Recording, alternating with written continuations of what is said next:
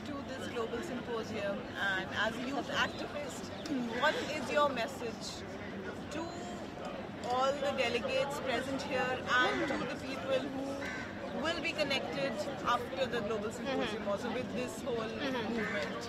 Well, like researcher and anthropologist, I like to say that uh, we have to make more communication between researchers and and the experiences. Because uh, uh, it could be fine to uh, do a better work with the young men. Any uh,